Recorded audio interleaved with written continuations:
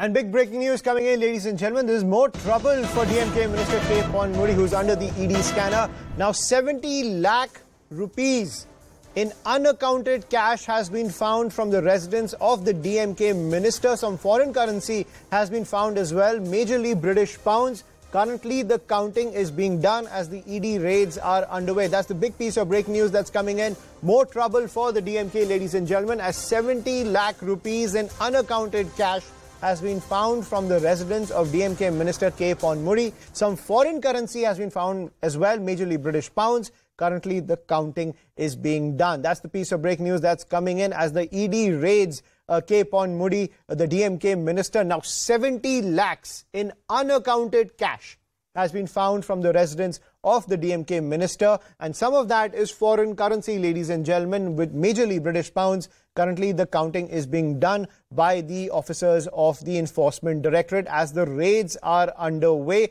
But there is more trouble when it comes to the optics surrounding this entire case as 70 lakhs in unaccounted cash has been found from the residence of the DMK minister. I'm joined by my colleague Ashish Maharishi who's getting us this piece of breaking news. Ashish, give us the details you know, as we know that Ponmudi was searched by the Enforcement Directorate today morning.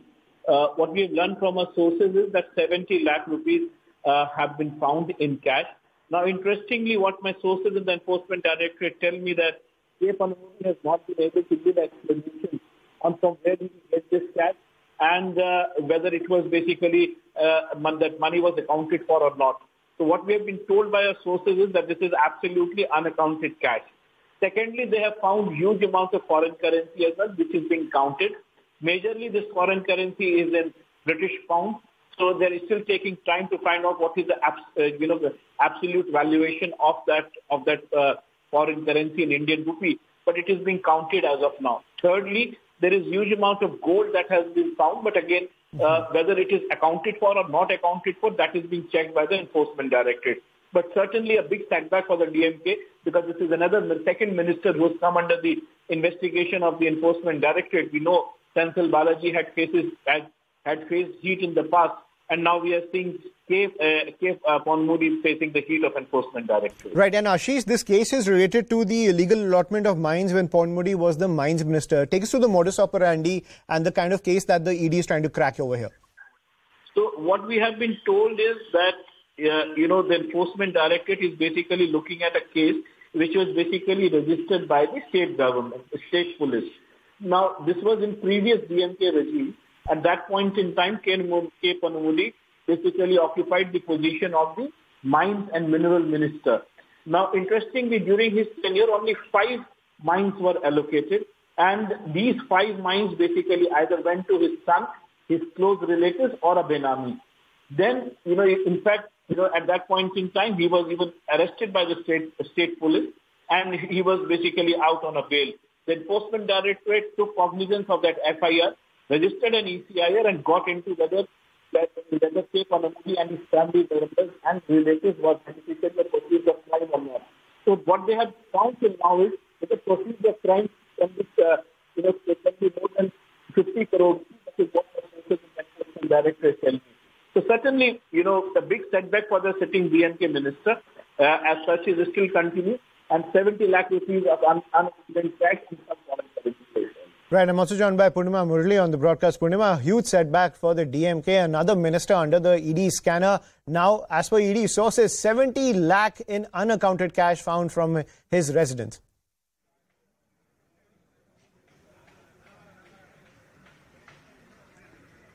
Absolutely. Uh, it's a setback of sorts for the ruling DMK, especially at a time when the DMK continues to maintain that the raids on the minister is uh, political vendetta, nothing but only political vendetta, and also a strong statement coming uh, in from DMK President MK Stalin saying that the people are watching, people know the truth, and that they will teach the BJP a lesson in 2024 elections. And also adding that initially it was the governor who was doing an election campaign of sorts for the party, and now with back-to-back raids in a span of one month by the ED, they say that ED is also now uh, starting an election campaign, and all these will only help the DMK sweep the 2024 polls. While the DMK maintains its stance, sources have confirmed to uh, Ashish that uh, 70 uh, lakh rupees have, of unaccounted cash uh, have been seized, and uh, this is the residence of the minister and from 7 a.m. raids are still underway. There are officials who are still continuing the searches. In fact, the cars that were parked uh, inside the residence were also searched. Uh, there were uh, senior leaders of the DMK, including former Rajya Sabha member who had come here but wasn't allowed.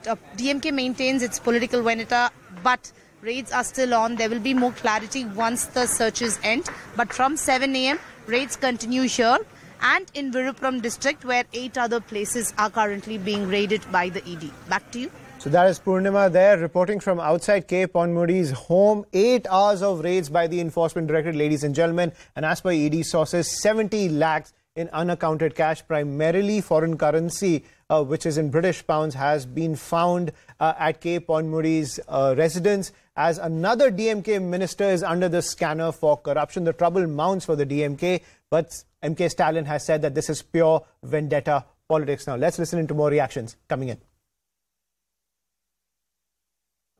BJP வீழ்த்துவதற்காக